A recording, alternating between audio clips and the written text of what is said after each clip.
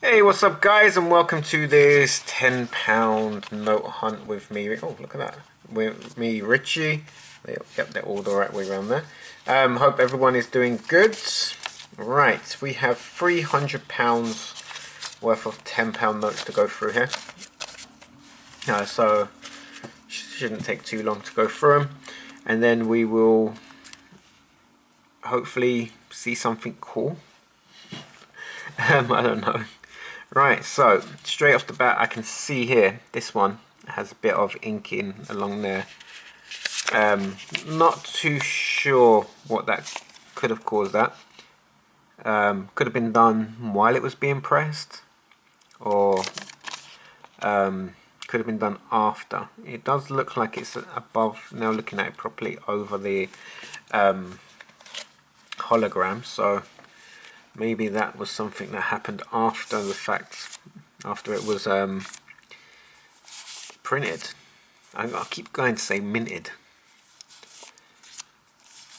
So yeah, we're going to just look on this side and see if there's any errors at all. And then we'll look on the other side where Jane Austen is afterwards. But so far, I don't see anything unusual. They're all quite decent notes, to be honest. None of them are messed up or looking like they might be taken out of circulation anytime soon. Down to our last few here.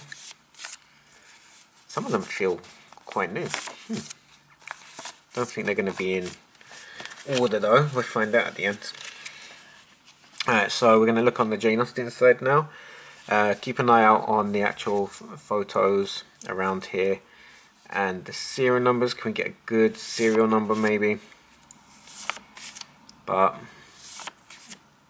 obviously, like I say in every video, um, if you do see something cool, then leave it in the comments. There's a DD43, DK44, AB07. Oh, look at that. 1, 2, 3, and 6, 1, 4. I think if we go for enough of them, we will find something really cool eventually. But, look at that. BB43 and BB40, uh, 23 in a row there. I can see we're coming to the end of this little pile. And see if the last ones, I doubt it. They all felt nice and clean and fresh. But I have doubts that the last few were anything um, similar in any way. We've got triple one there. Um, what we got there? 33, 44, 40, uh, 33, 40, 44. Then uh, they weren't in order. I might go to the um, when I can go to Bank of England get some. Maybe they got loads of tenners in order. That'd be pretty cool. So guys we didn't find oh well I didn't see anything any, um, decent in there. And obviously if you did then let me know in the comments. So guys thank you very much for watching and I'll see you in the next one.